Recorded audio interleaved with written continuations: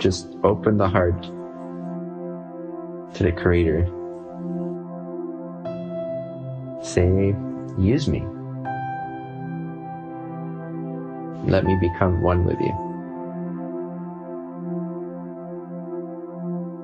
Not just as an intellectual statement, obviously, though it can begin at that level.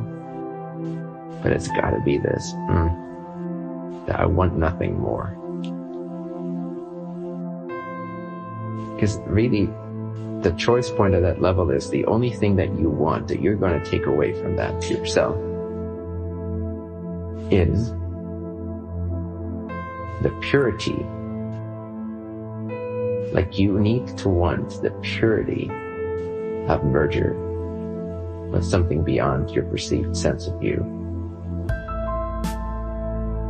the purity that you know is required and is the result of that surrender. You need to want that purity more than you want anything else in life. So if you sit in meditation, you go deep, intuitively just go deep. And then when you're deep, when you get a sense of your eternity, it's easier to make that choice. Because you're not filtering it through a lifetime of temporary stuff. So you're seeing life, you're seeing the incarnation in context to the eternal self. And eternal self has no real motivation because it's already perfect and timeless and beyond space and time and events and people. So then you're very available to the highest vision within the relative of the illusion of creation. So now it becomes much more natural to give you can even just visualize, visualize yourself. Visualize it blending with that eternity, becoming that eternity.